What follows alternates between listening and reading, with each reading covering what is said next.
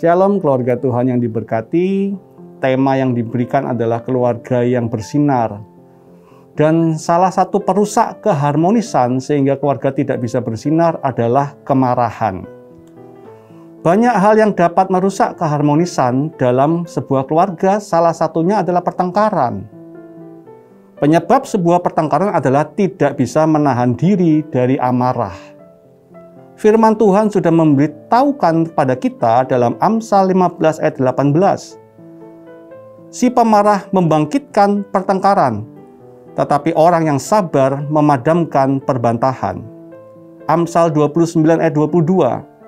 Si pemarah menimbulkan pertengkaran, dan orang yang lekas gusar banyak pelanggarannya. Bagaimana cara agar kita bisa menang atas amarah? Yang pertama, kita bisa menghubungi konselor untuk mencari tahu bersama-sama latar belakang kita dulu seperti apa, sehingga kita memiliki watak pemarah seperti ini, supaya kita dibantu dan dibereskan akar daripada permasalahan kita. Yang kedua adalah kita harus berhubungan intim atau melekat dengan Roh Kudus, sehingga kita bisa menghasilkan buah roh yaitu kasih, kesabaran, kelembutan, dan penguasaan diri. Di samping buah roh yang lainnya. Apa yang Tuhan katakan tentang orang yang suka marah? Saya teringat bagaimana Om Bekti pernah mengatakan dalam sebuah firman, ada orang yang suka marah, orangnya ini pria berbadan besar, dan dia mengatakan bagaimana Om caranya supaya saya bisa menghilangkan amarah saya apa yang Tuhan pikirkan tentang saya. Lalu Om Bekti mengatakan, coba Bapak baca seluruh Amsal Sulaiman. Setelah itu orang itu kembali lagi kepada Om Bekti dan mengatakan saya sudah baca Om. Dan apa yang dikatakan oleh orang itu? Om Bekti bertanya, Tuhan berbicara apa kepada Bapak?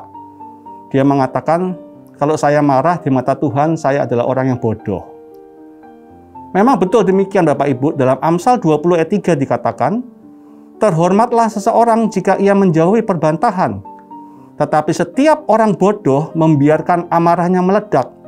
Maaf kata, orang yang tidak bisa mengendalikan dirinya dan suka marah, di mata Tuhan adalah sebagai orang yang bodoh. Jika terjadi masalah dalam keluarga, mari kita hindarkan perasaan marah, kata yang membentak, memaki, Sebaliknya selesaikan dengan cara yang asertif. Apa itu cara yang asertif? Kita berkomunikasi dengan baik mengatakan, saya sedih jika ayah seperti ini, saya sedih jika ibu seperti ini.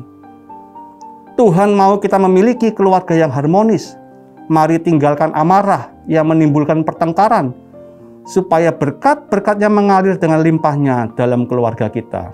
Tuhan Yesus memberkati.